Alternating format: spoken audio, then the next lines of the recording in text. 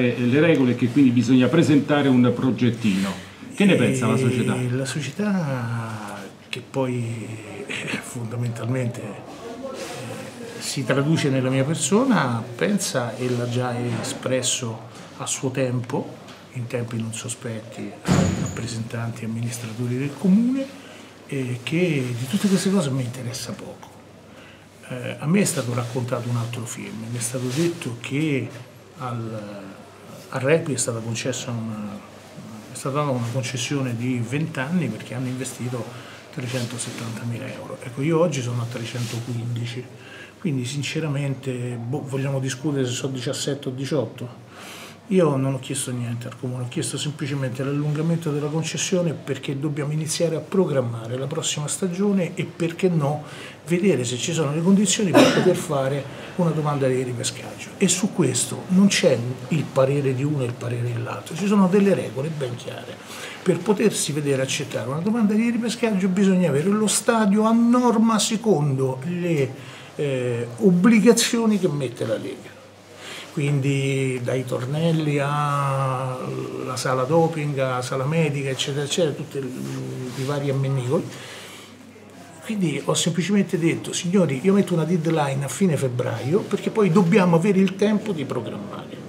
La concessione serve anche e soprattutto per ragionare su tutti i lavori che ci sono da fare.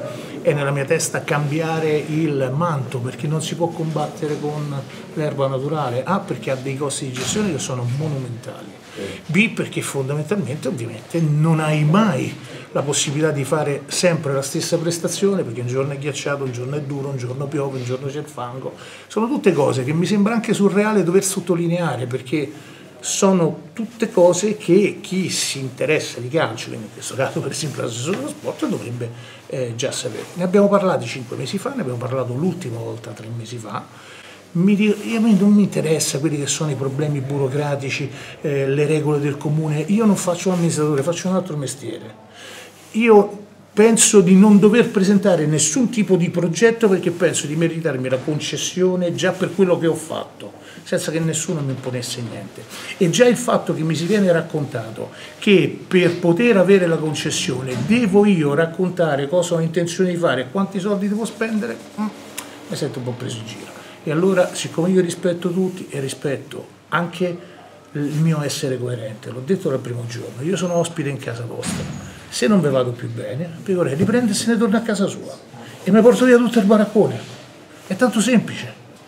Perché adesso le chiacchiere, anche l'assessore che stamattina fa un'intervista dove ripete le cose di cinque mesi fa, io dovrei, avrei avuto il piacere oggi di vederlo per spiegargli che fondamentalmente io sono stato molto chiaro, a me delle vostre cose, io non posso stare a perdere tempo a fare i piani finanziari, i progettuali su quello che voglio fare, anche perché non ho nessun obbligo perché il comune, è, lo stadio è di proprietà del comune. Io qui ho speso dei soldi, ho fatto dei lavori che non mi competevano e non mi sono permesso di chiedere niente, però non va approfittate della mia bontà, perché tutto sono tranne che scemo.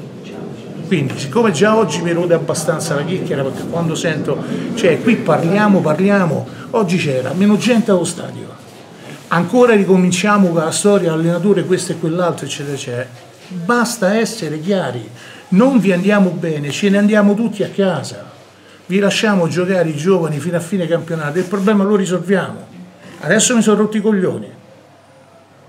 E non è che, penso di essere molto chiaro, no? Punto. Non c'è altro da aggiungere. Poi ci sarà modo di incontrare l'amministrazione comunale, ma la mia posizione è netta.